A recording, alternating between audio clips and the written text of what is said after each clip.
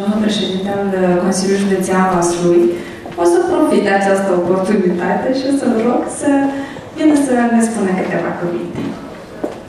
Dacă știam, am auzit de doamna director de frumos a vorbit de administrația de la Suceava, dacă știam, trimiteam pe altcineva, poate vorbea și despre mine, tot așa. și trebuie să vă mărturisesc. Bineînțeles, sper să vă și destin puțin, că îmi plac dezbaterile și când aud că e vreo dezbatere undeva, fac tot ce e posibil să ajung la dezbaterea respectivă. Dezbaterile noastre, însoțite sau nu de analize mai mult sau mai puțin profunde, sunt foarte optimiste. Și eu sunt optimist, așa, cunoașteți acea butadă care zice că se poate și mai rău. Și eu aș zice că fac parte din uh, rândul acelor optimiști.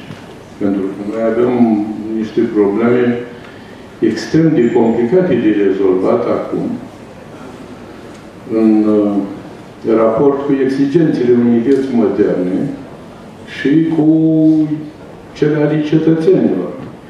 Iată, de exemplu, noi nu avem rețele de apă și canalizare în toate localitățile judeților noastre. Nu cred că există vreun județ care să aibă rețele de apă și canalizare peste tot.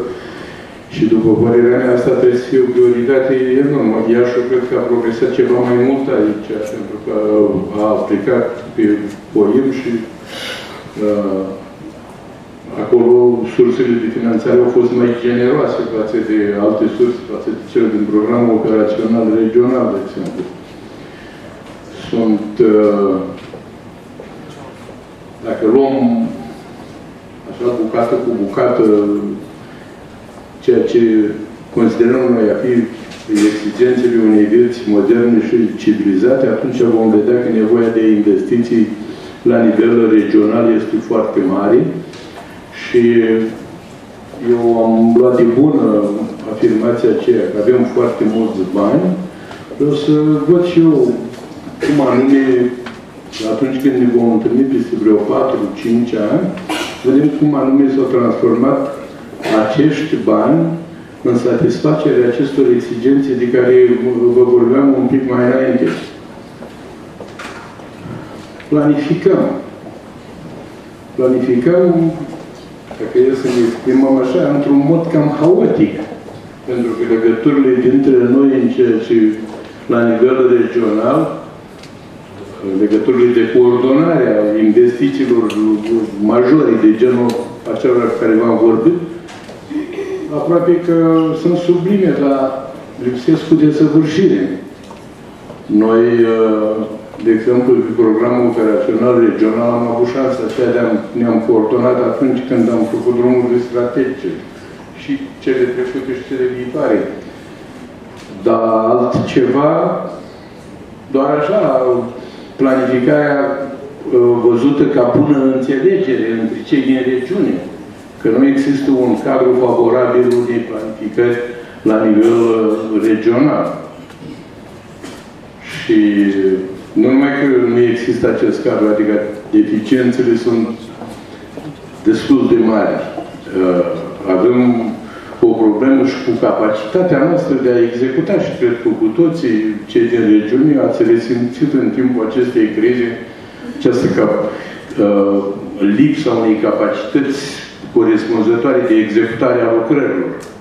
Aveam Bineînțeles, las la o parte deocamdată factorii obiectivi care au generat, care au accentuat și mai mult uh, această capacitate. Și lucrurile acestea se vor menține și în continuare. Că dacă ne gândim totuși că există un volum destul de mare de investiții pe diverse uh, linii de finanțare, uh, cei care urmează să execute aceste lucrări sunt cam aceiași și capacitatea lor nu s-a modificat substanțial în jumătatea aceasta de an, de la 1 ianuarie și până acum. Deci, asta ne face să presupunem că în continuare vom avea dificultăți uh, majore. Sunt uh, De asemenea, pe programele transfrontaliere, destule dificultăți care au dus inclusiv la eșecul unor proiecte și tot ce mai departe.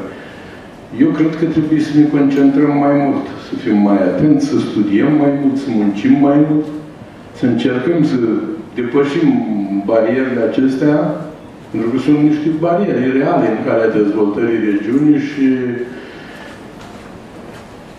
cu mai mult sau mai puțin entuziasm să atingem niște obiective. Poate să zicem noi care am putea să le fixăm într-un cadru, dacă ar putea fi sprijinit de un cadru normativ, acest cadru al uh, cooperării noastre ar fi mult mai bine. Dar, din păcate, așa cum uh, se desfășoară activitatea în administrațiile publice uh, locale, lucrurile stau destul de complicat.